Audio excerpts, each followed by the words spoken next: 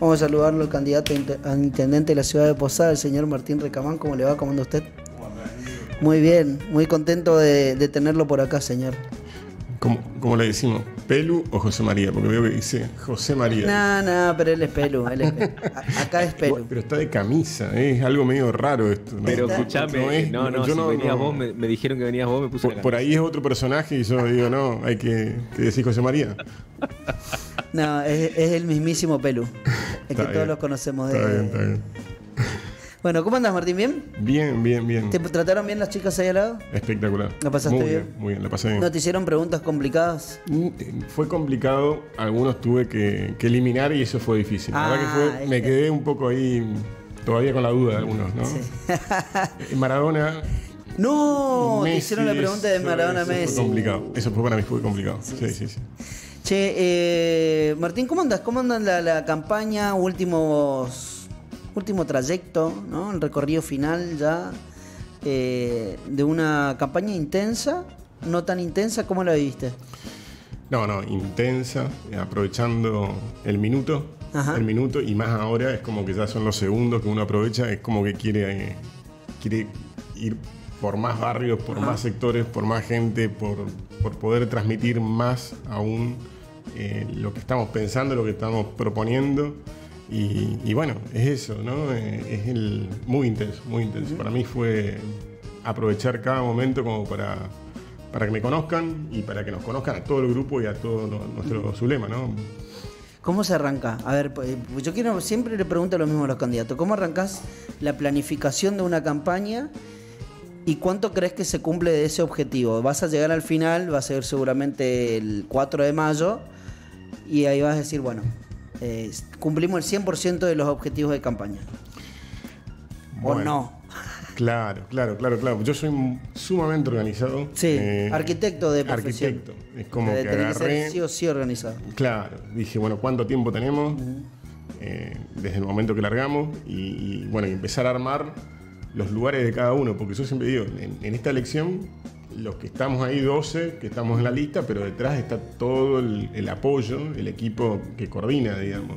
Entonces puede definir los coordinadores, puede definir cada equipo, bueno, vos te vas a ocupar de la parte logística para que en cada reunión los candidatos ya tengan resuelto ese tema. Eh, después la persona que está en parte de comunicación, definir bien el equipo de comunicación, qué necesitaban, qué había que planificar la parte del jefe de campaña, que, tuviera la última palabra, en definitiva, que, es el que define y dice, no, no, vamos por acá, listo, nadie discute y se hace lo que el jefe de campaña dice.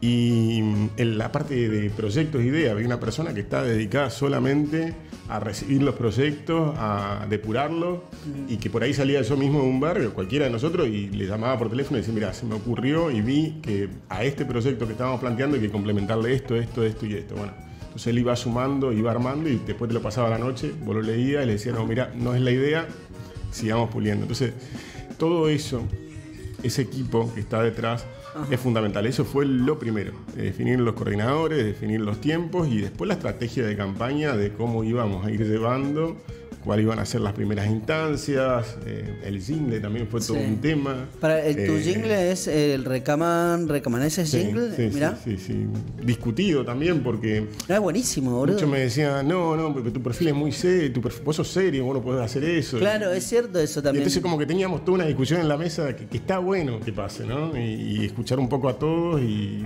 bueno, eso yo soy un tipo muy de, escuchar.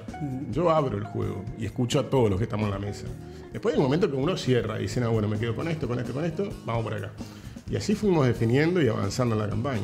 Qué bueno, loco. Eh, me alegra tenerte acá y le voy a dar el paso ahí a tu amigo, nuestro amigo, el señor José María Garrido Hermosa, más conocido como Pelu, y él se quiere autodeterminar Pelux con X.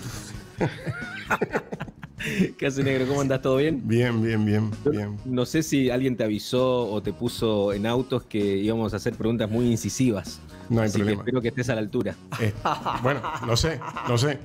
vamos viendo. pero no hay problema, no hay ningún, problema. está bien, está bien.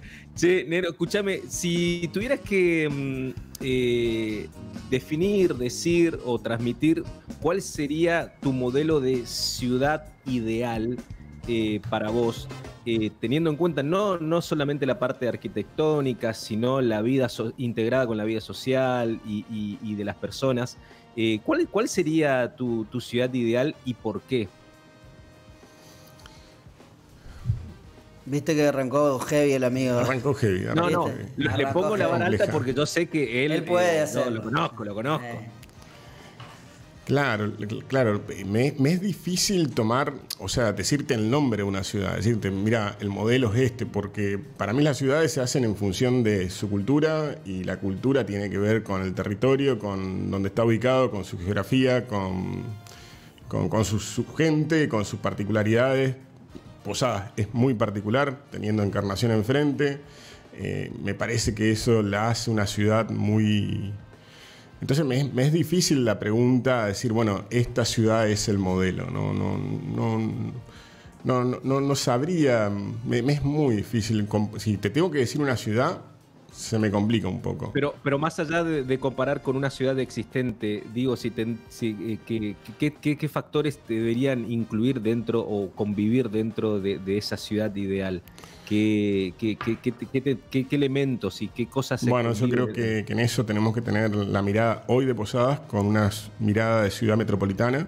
El concepto metropolitano tiene que estar incluido, que es lo que nosotros estamos justamente planificada, metropolitana.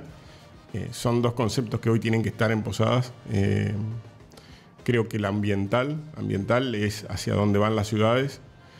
Eh, y por otro lado, creería que, el posicionamiento de Posadas en una escala regional me parece muy importante para seguir profundizándolo como se viene dando ya en este tiempo. ¿no?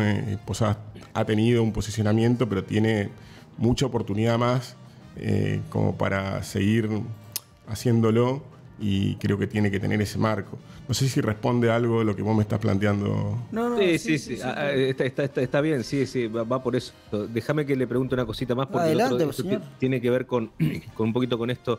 Cuando hablamos de, ciudad metropolitana, el otro día te escuché hablar de decir que eh, hoy en día la, la columna vertebral, si lo tomamos a la ciudad como un organismo vivo, eh, de nuestra ciudad, de la ciudad de Posadas, es la avenida 40. Eh, eh, ¿cómo, cómo, qué, entendemos por organismo vivo de una ciudad? ¿Por qué la avenida 40 sería su columna vertebral? ¿Cómo, cómo no, nos puedes contar un poquito más sobre esto? Bueno, nosotros cuando hace muchos años atrás siempre se hablaba de que la estructura vertebral de, la ciudad de Posadas era la Avenida Uruguay. La Avenida Uruguay era como el esqueleto estructural, el cuerpo humano, ¿no? La estructura vertebral, la columna y, la cabeza de ese cuerpo era el casco céntrico. Ese era el concepto que se tenía de Posadas cuando yo estaba estudiando, incluso en la facultad. Eh, cuando uno estudiaba, eh, te, lo mencionaban así: esta es la estructura urbana y la estructura urbana está a través de este esqueleto, digamos. Posadas se compone a partir de la Avenida Uruguay. Eso fue el inicio de Posadas. Yo creo que hoy eso cambió. La estructura vertebral, la que vincula los diferentes barrios, sobre todo, o sea, la 213 donde culmina, en la 40.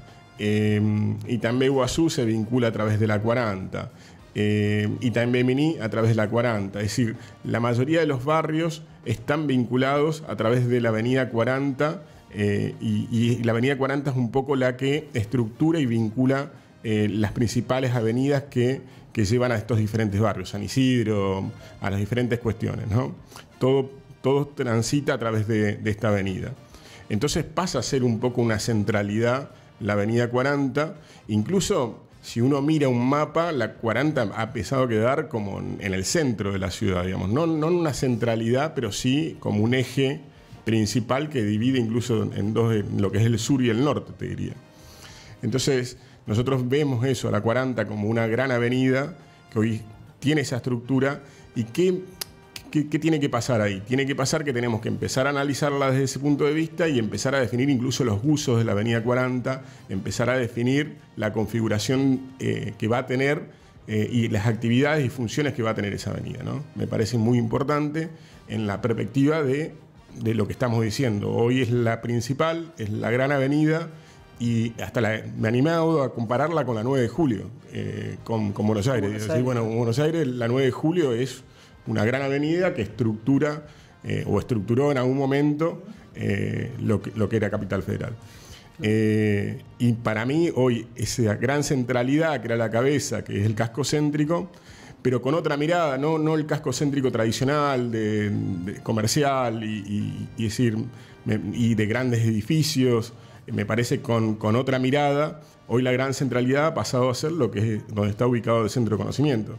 Claro. El Parque del Conocimiento tiene esa característica, es un lugar de, de actividades, de eventos culturales, eh, tiene muchas veces lugar de feria, de, de, actividades de grandes ferias, digamos como la Feria de la Madera, creo sí. que se, se, llevaba adelante. La Feria Forestal. Feria Forestal. Eh, pero también todo lo que pasa con el deporte ahí alrededor, todo lo que pasa con la costanera oeste, lo que pasa con ahora con Silicon, que es la parte de la tecnología. O sea, que entonces pasa a ser un centro moderno, de una visión moderna y ambiental y tecnológica, así ah, lo bueno, definimos nosotros, totalmente. me parece.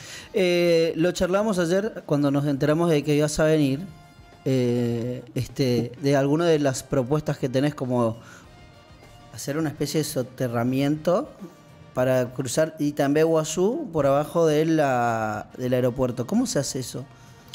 Bueno, a ver, primero. O sea, es, nada, es, es, lo que. Quiero, o sea, quiero, está buenísimo. Nosotros son, son está miradas, buenísimo, pero. Son las, nosotros estamos siempre mirando posadas desde esas dos escalas. Quiero aclarar esto porque si no. Claro, por ahí para darle un encuadre a esto. Es decir, por un lado, la posadas que viene. Uh -huh. Yo, nosotros tenemos. Yo tengo 42. Sí. Un poquitito más chico que vos. Un poco, bueno. Cuando yo era chico, Posada no llegaba a la 40. Ah, claro. Barrio Jardín era un lugar de quinta. Mm. Y era todo lo que tenías del otro lado de la 40. Eh, ¿Vos cuántos años tenés? 25. 25. La miro a ella porque por ahí no, sí, sí. no conoce esa, esa, historia. Tal cual. Villa Cabello quería ser independiente, quería ser municipio inclusive. Bueno, ¿Te acordás lo que nos quedaba de lejos Villa Cabello? quedaba de lejos. Entonces, no, la, tener una mirada de cuáles son las grandes obras que tiene que tener Posadas hoy, en esto que digo de la Avenida 40, en esto del túnel, es importantísimo. Nosotros vimos un montón de grandes obras en Posadas en todos estos años. Entonces la protección de Posadas tiene que tener el desarrollo de cuáles son esas grandes obras que va a seguir ejecutando. Una es este túnel. Una es la Avenida 40, otra es este túnel. El túnel que permite conectar todo lo que está sucediendo en Itambé Guazú. Uh -huh. Por ahí la gente no conoce lo que pasa en Itambé Guazú, pero es un, un barrio enorme y que se embudo. está extendiendo muchísimo, que está extendiéndose todo hacia el oeste sí. de la ciudad de Posada. Sí.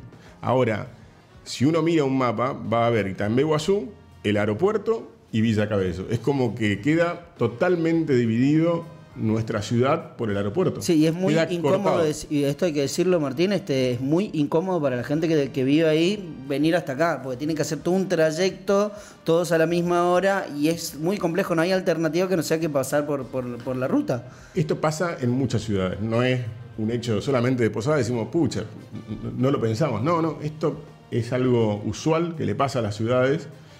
Uno puede googlear y sí, mirar. Sí, sí, claro. Y, y, cuando esto sucede, tenés que plantearte, bueno, ¿qué hago con el aeropuerto? Uh -huh. Entonces, las opciones son, en algún momento nos va a pasar que tenemos que definir, ¿corremos el aeropuerto uh -huh. o hacemos un túnel que atraviese el aeropuerto? Hacer un túnel implican 500, 700 metros de túnel en donde permite conectar la avenida Chacabuco con la avenida que está del otro lado en Itambé Iguazú y esto agiliza el tránsito muchísimo porque es una nueva vía directa que reemplaza a lo que es la avenida 40 por donde hoy se conecta todo Itambé Guazú. Claro, claro.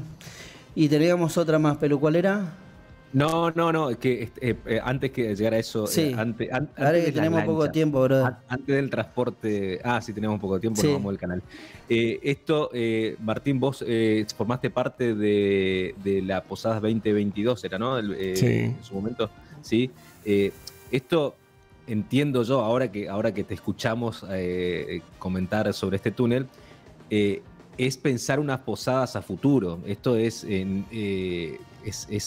proyectar a, a, posadas más allá de, una gestión de, los próximos años. Es, pensar a una posada que va, que, que va a venir, ¿no? Lo que pasa que, a ver, está buena la pregunta. Entendamos esto, es decir, hace 15 años atrás llevamos adelante ese plan estratégico, Posadas 2022, que fue la que marcó todas las líneas de trabajo de lo que se desarrolló en estos tiempos. O sea, en algún momento tenés que sentarte y armar el plano y la proyección para empezar a ejecutar obra. Posadas tenía una- un documento que, que se hizo hace 15 años atrás que definió la 40, las manos únicas, el mejorar el cerro pelón, toda la parte de, de embellecimiento, eh, pavimentación de muchas calles, eso se definieron en el plan estratégico. Incluso un montón de cuestiones de la costanera, que actualmente en aquel momento no estaban ejecutadas, se definieron también en ese plan estratégico. O sea, fueron parte de un programa que se desarrolló. Y, eso fue ejecutándose en gestiones posteriores. Estamos hablando hace 15 años atrás, pasaron dos gestiones que fueron ejecutando diferentes obras que estaban dentro de ese documento. Bueno, el plan terminó y hoy Posadas no tiene un nuevo plano como para darle continuidad. Tal vez hay elementos que puedan continuarse del Plan Estratégico 2022. Pero en esta configuración de ciudad hoy, Pelu, en donde la 40 ha pasado a ser una centralidad, donde la, la ciudad tiene otra concepción, donde los barrios tienen otras necesidades, hasta incluso en la cuestión de gestión municipal, los barrios hoy requieren otras cuestiones, necesita replantearse ese plan, porque ya no es el- la misma Claro. visión y la misma necesidad que en el Claro. momento. Totalmente, totalmente. Y la última, apelando a, a la brevedad de tu respuesta, eh, también propones en parte eh, el transporte fluvial. Sí. ¿Cómo se consigue eso? ¿Qué, qué- qué- qué- qué pens- ¿Cómo pensaste? Digo, de manera irresponsable, eh, lo leí, el- leí el título, digo, pero me parece súper llamativo. Creo que son alternativas eh, es que están ahí, porque el río está, el río Sí. está, tenés el río.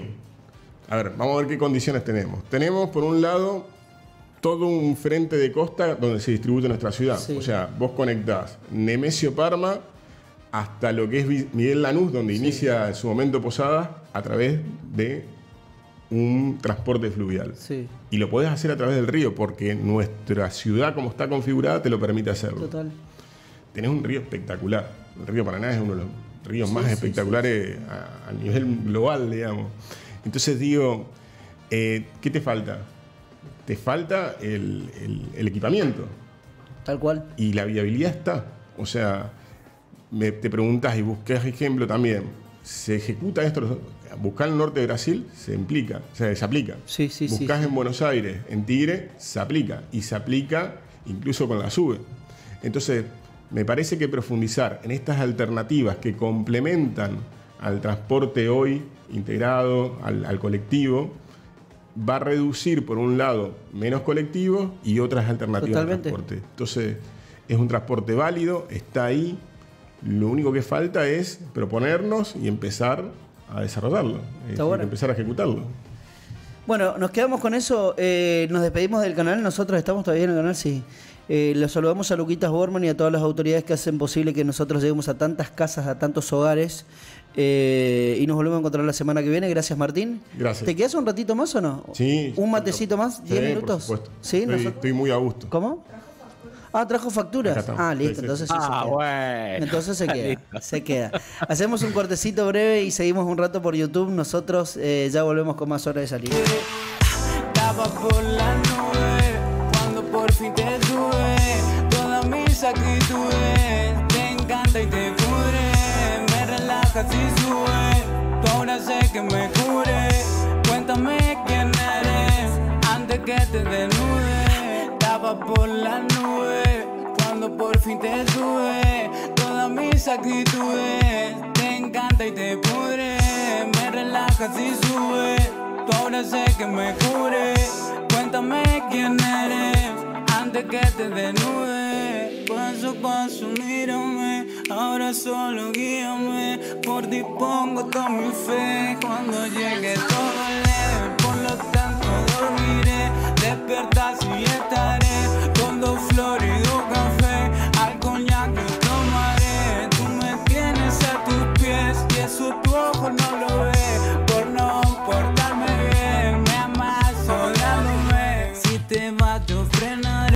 Bueno, volvimos rápidamente y se sumió y se sumó Flavia de chat. ¿Cómo Sí. le va Flavia? Muy Tanto bien. tiempo. Quería quedarme fuera igual para poder Porque comer. ah, qué día.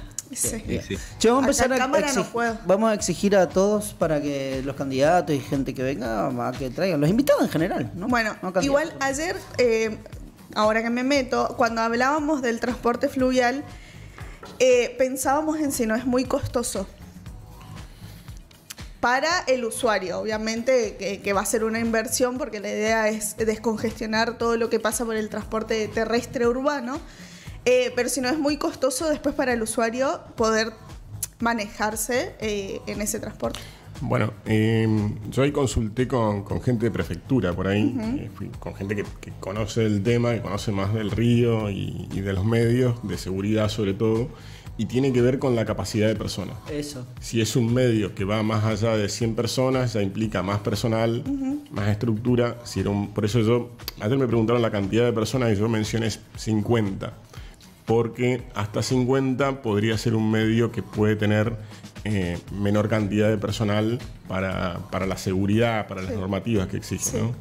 Eso es un poco, no sé si responde a la pregunta, Sí, pero hecho, sí es un punto de análisis importante la capacidad de personas en función de los costos. Un estudio de mercado debería hacerse, Sí. ¿no? Qué copado eso, ¿te imaginas, Pelu? No, me, ¿Eh? ¿Te eh, imaginas yendo? yo- pero vos te acordás del ferry, vos subiste al ferry. Sí. Bueno, ustedes subieron sí, al ferry sí, sí. todos. Vos, bueno, Flavia no. Me imagino que Sí, sí, no, pero ayer cuando hablábamos de esto, eh, decíamos que no solamente eh, es un medio de transporte para la gente que, que- que- que- que vive en la ciudad, sino también es un atractivo turístico. Eso. Y, y- y es lindo, a, a mí me, me resulta, eh, eh, me seduce ver un, un río eh, que sea esté transitado por, por este tipo de embarcaciones. Le da vida a una ciudad y, y sobre todas las cosas potencia el turismo en una ciudad que necesita que la gente se quede más de dos noches, ¿no? Y además, Posadas tiene su historia con el río, ¿no? Es decir, si Claro. vamos a la historia de Posadas, Sí, esta vinculación con el río siempre estuvo muy marcada. Me parece que es parte de lo nuestro, no, no- creo que no, no hay que de- dejarlo de lado. Eh, como vuelvo a repetirlo, sucede en muchos lados, no veo por qué no hacerlo acá. Eh, es un, el río es un medio de comunicación muy, pero muy bueno, así que hay que aprovecharlo. ¿no? Totalmente. Y la idea también es conectar Iguazú, eh, Iguazú, perdón, con el centro. ¿O La cuáles idea serían es, las paradas? Nemesio Parma sería el vínculo con Itambé Guazú. Eh, es más, eh, no, no lo dijimos porque estábamos en un marco de campaña de posadas, pero en realidad la, la posibilidad de conectar esto con Garupá y Candelaria es Claro. más que Bueno, interesante, claro, te diría. claro. más que Claro. interesante. Sí, sí. Fla, tenemos Pero el. quiero- Sí, perdón, eh, pero le No, quiero preguntar no, a Flavia si tenemos Let's View una- para, para conectar el celu. Quiero escuchar el.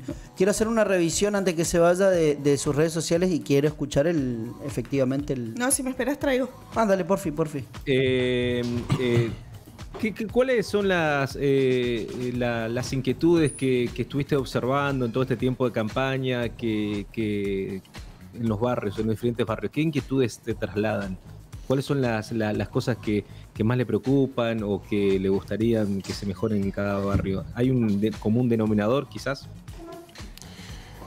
Bueno, a ver, eh, uno hace una, una síntesis de esto. Yo soy de, de- pensar mucho las cosas, decir, eh, a ver, ¿a qué, me refiero? Uno, uno, un vecino viene y te dice, mira, el problema es la plaza que no la podemos disfrutar porque en tal horario no hay chicos y se complica el horario. Bueno, es una cuestión que tiene que ver con la seguridad, que tiene que ver con las adicciones, el problema de la luz en el barrio, de una parada, la cuestión por ahí, hay muchas cuestiones cotidianas, ¿entendés? Que, que- que ten- tenés que limpiarla, digamos, porque son todas pequeñeces, digamos. Pero en conclusión, lo que yo saco es, por un lado, eh, la cuestión de, de lo que te marca mucho los vecinos, lo que tiene que ver con la inseguridad Y el tema de las adicciones, está muy presente eso. Y cuando uno profundiza en el tema, no me quedo con la idea, sí en lo inmediato, el tema de, la luz es un elemento que te garantiza y te mejora muchísimo la cuestión de la seguridad. Y es necesario profundizarlo y, y tener una estrategia de, de, sobre todo de iluminar lugares puntuales donde las personas transitan con más frecuencia, los lugares puntuales de, de las paradas de colectivos y todo eso me parece que hay que profundizar mucho. Pero hay un, hay un factor social que no lo tenemos que dejar de visualizar. Me parece que la problemática es social y que no se resuelve todo con luz y cámara, sino que se resuelve con profundizar cuestiones sociales. Total. Tenemos cuestiones de, de- jóvenes, chicos, que por ahí se, descarrilan, que se van por, por caminos que no, no son y que, que tenemos que atenderlos, creo que sobre todo a las, generaciones con el deporte incluir, buscar de canalizar esas cuestiones y son cuestiones sociales que tenemos que empezar a canalizar. Entonces, desde ahí fue que nació este proyecto que nosotros planteamos, un observatorio de políticas sociales. Creo que eh, tenemos que entender a lo social eh, y esta cuestión del observatorio como una infraestructura. A ver, eh, eh, hago un ejercicio y les invito a hacer el ejercicio. Entren en una página municipal del, no de acá, de, de otro municipio si quieren, y miren si hay datos sociales como hay datos de infraestructura, de calles, que van a Claro. ver que dice esto tiene asfalto, esto tiene empedrado, esto es de tierra, o de iluminación. Ahora, vos buscás infraestructura social, no hay. O sea, no, no- no está mapeado, no, no tenés un mapa de lo social dentro de nuestra ciudad. Tampoco tenés, y, lo llevo a otro, a otro ámbito que tiene que ver con lo ambiental, no tenés un mapa de infraestructura verde. Es más, nosotros propusimos una Secretaría de Infraestructura Verde y le pusimos el nombre de infraestructura para que se entienda al ambiente y, a, la nuestra- a nuestro bosque urbano como una infraestructura. Es decir, ¿es importante el tendido eléctrico? Sí, fundamental. Ahora, tenemos que empezar a entender a la parte verde como una infraestructura necesaria para nuestro, nuestro ambiente, para nuestra vida, para nuestra calidad de vida, como lo es cualquiera de los otros servicios. Entonces me parece que, que esas son cosas que tenemos que madurar. Lo social tiene que profundizarse, tenemos que construir datos en relación a eso.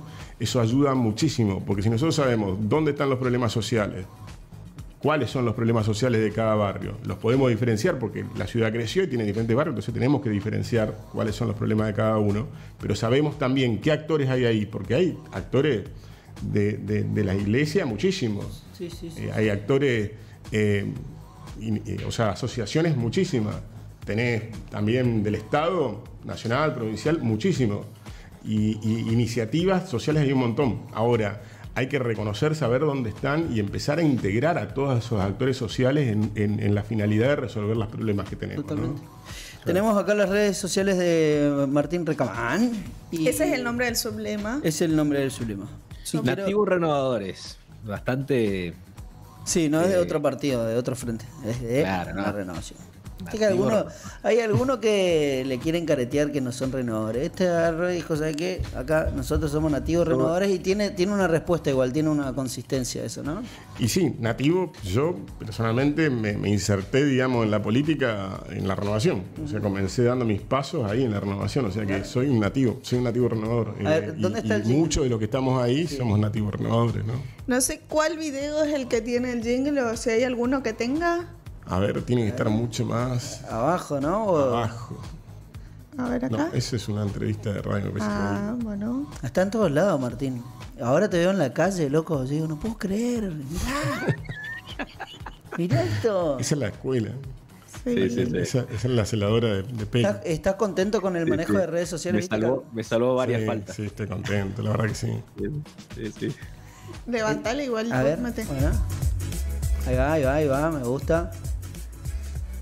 Che, ¿y, y- y estás cansado, digamos, cambió mucho tu rutina de, de candidato ahora?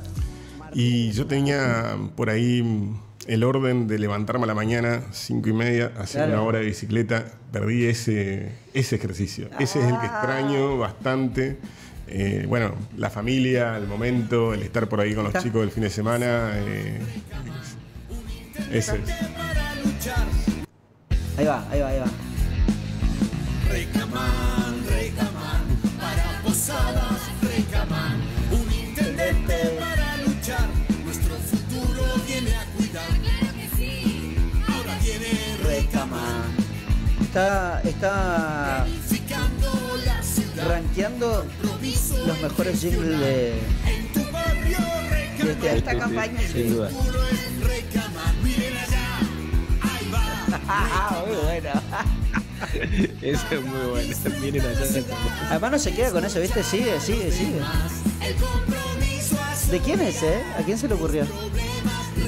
Ah, ah, qué bueno, te, te voy a contar. Eh, almuerzo de amigos. Ajá, Estábamos con Facundo Ringa. ajá. Candidato. Y Ser candidato, de la a- lista. en la lista, ¿no? Y estábamos con un amigo de la época de la facultad, eh, Juan Manuel Mercado, no sé si lo Sí, conocen. sí, sí, sí. Juan. Bueno, estábamos en la casa de él y le digo, che, tengo que hacer un jingle, le digo, porque yo estaba preocupado por eso, ¿viste? Y le digo, tengo que hacer un jingle. Y Juanma fue algo, pero tan, pero tan espontáneo que lo dijo. Dijo, Y Recamam es Spider-Man, me dice. Pero fue algo espontáneo, esas cosas que no es que la pensó demasiado. Y, y la empezó a cantar. Y, y- pero, pero esas cosas suceden, viste, en, en esos sí, sí, sí, sí, sí, sí. Así que hasta incluso con Juan Manuel, eh, que nos, realmente nos da una mano importantísima, siempre está eh, como acompañando en un montón de cuestiones, hemos mantenido esos almuerzos. Mirá. Almorzar cada tanto en la campaña como para refrescar algunas cuestiones. La verdad que yo, yo tomo por eso, voy juntándome con, con- con cada uno y voy sacando estas cuestiones. Con Juan Manuel salió eso, digamos, salió eso y otras, ideas más, pero Che, ¿y qué, qué otro? mm, A ver, ¿dónde pones el ancla? Viste que la, la vorágine de, de la campaña te absorbe mucho y decís, bueno, este es el momento para mí. ¿Dónde, qué, qué es ese momento y cuándo te lo tomas? Si es que, lo, si es que podés, digamos, ¿no? O sea, ya a la noche llego a mi casa y quiero estar media hora solo, Y no, meditando, ahí- hago yoga, no sé, algo de eso. Después de almorzar, una hora, eh, antes de, de volver a tomar la actividad, un mate con mi señora, charlamos un poco ahí en la cama, Ah, bien. recostado, botando un rato la cabeza y, y es un momento ahí reflexivo. Qué lindo, boludo, Un instante, a veces callado. Sí, sí, ¿eh? Y, y bueno, lo mismo la noche, por ahí, sé yo, Qué bueno. esas cuestiones. Un corte a veces importante te, te- te borra un poco la campaña y te, te mete un poco en la vida cotidiana, ¿no? Sí, totalmente. Bueno, hasta el hasta que donde se pueda nosotros vamos a seguir tratando candidatos, pero nos quedamos con Martín porque eh, nos deja uno de los jingles mejores rankeados. Hasta ahora el mejor rankeado. Vamos a ver. Decir la verdad, está ahí porque la factura. Porque le pedimos que traiga factura. No, le- no, trajo él. Sí, lo sé, pidió. lo sé, estamos jodiendo. Pero sí se quedó por eso. Sí se quedó por eso. Es un chiste, un chiste, Flavio. él, él no puede tener. Que ahora van a creer que tienen que traer siempre. No, pero vamos a Y bueno, está, está bueno que se la crean. Sí, sí. Vamos a exigirle. Martín, muchas gracias por, por acompañarnos, loco. La verdad que te deseamos lo mejor de corazón y que te vaya bien. Gracias, vaya gracias. La verdad que me siento muy cómodo acá. El programa es espectacular lo que tienen. La verdad que está muy lindo. muy Bueno, lindo, es la segunda vez que venís Sí. desde que Sí. tenemos el, estudio que armamos acá. Eh, Creo que no habías venido como este año. Sí, no, sí vino cuando ya estaba ploteado. Ah, ¿sí? Sí, sí. Sí, sí, sí. ah, sí, bueno. sí. Bueno, gracias Martín. Gracias a enorme. Gracias. Vamos a. Grande. Un gusto verte. Placer, un placer, un placer. Eh, Ahora cuando, cuando ande por posada, espero que no sean facturas, sino que sea otra cosa. Ahí está. Por supuesto, por Che, supuesto. Ahí va a preguntale vos, por favor, cuándo va a venir, porque a mí no me quiere contestar. Venís, pero venís a votar. Sí, sí, sí, Ahí sí, está. sí, obvio, obvio. obvio. Ahí bien, está. bien, bien. Ahí está. Listo. Es voto cantado, me imagino. Es Eh, voto obvio, cantado. no puedo- acá no lo puedo cantar, ¿viste? Pero sí, sí. Lo puede hacer, señor.